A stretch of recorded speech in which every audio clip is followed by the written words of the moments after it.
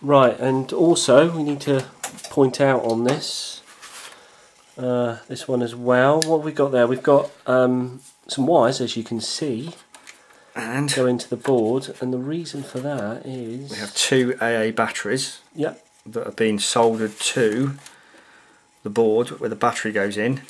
And what this does is, you know, the uh, batteries go flat after a while and you yeah, all, lose all your data. backup data. I strongly recommend as well if you are into your Saturn, get a um, memory backup cartridge. They're very good. Uh, but anyway, this is wired in, pos and neg, and you've got three volts on there, and they last for years. Obviously, from time to time, check that they don't leak. And you'll Yeah, see you'll see otherwise- leakage inside. Otherwise, it leak on the board and could damage the Saturn. But apart from that, they we found this the best mod. Um, To be able to, To- have. I mean, how, how long will they last? those? Well, I reckon they last if in normal working environment, their la- uh, temperature and that they should last two to three years. There's no reason why they're not.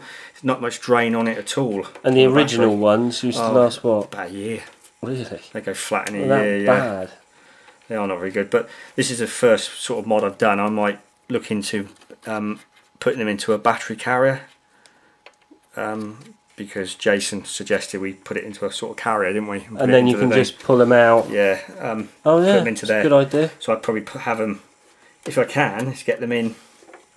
Can't do this for well fingers and thumbs, but have it like that in a carrier, so you just pull them out, Pull it the out, batteries pull out. batteries out, replace when Yeah. needed. But I thought about rechargeable ones as well, using rechargeable batteries might be an idea. Um, put them into a holder, and then you can just take them out and recharge them. But I found that um, the best way for for Saturns is to have a memory backup cartridge, either an Action Replay or a official one, which they're very expensive now, and they plug in Mm. plug in here and then just keep all your saved data on that but yeah So There you go. with those ones, the actual official Sega ones, turn the light off on that. Is that off or on? it's on Oh, there we go. Uh, beautiful, seamless there. Um, yeah, with, with the actual official Sega ones, does that mean that you plug them in and they act like an additional part of the memory? Because I know with like the action replays, you would have to um, copy. I've got cramp sorry it's the age oh sorry So, yeah sorry about that. Yeah. so yeah, Yeah, yeah. you'd have to copy to the car, and then you copy from the cart back in to be able to play. the beauty the beauty of the, The actual official official- ones It is they plug in and then the you go straight to the bar screen with action replays they boot to their own menu screen Mm. so by putting a normal I, what we'd do is we'd do another one and I'll show you these cartridges how they work but you plug it in and basically it will switch on like a normal Saturn and go to your CD screen Right. and you can then put your game in and do everything you want to do And if you've got a save copied onto that cartridge, you don't like the action replay have to copy from the cartridge back to the internal memory, or you do. I don't know. I'll have to look into this. I've Oh, never right. done that. I usually just I usually just load my uh, game save onto the thing Yeah.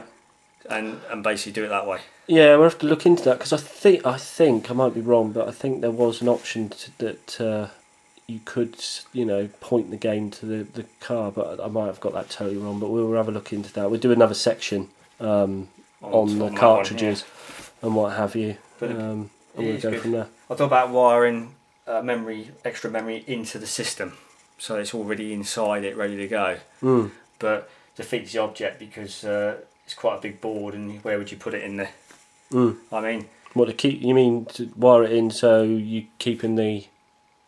yeah. Would that keep that free? Although, Uh, how would you do that? you don't really use it for much else, do you? Mm. You only really use it for uh, expansion cartridges if you play other games, isn't it? Yeah, Um, so it'd be nice to have a bigger internal memory. Yeah. there, wouldn't it? So what? It would give you more blocks. Full stop. Yeah, yeah. You'd have seven. You'd have nearly eight thousand blocks instead Yeah. of four hundred and sixty-one on a Sega Saturn memory. See that It would, be, a, good. yeah, Yeah. because if these cartridges are that you have to copy to and from, and it's not a through thing, yeah. then it's a bit of a pain in the backside, isn't it? Whereas if you were to increase the internal memory, it just there's more space for.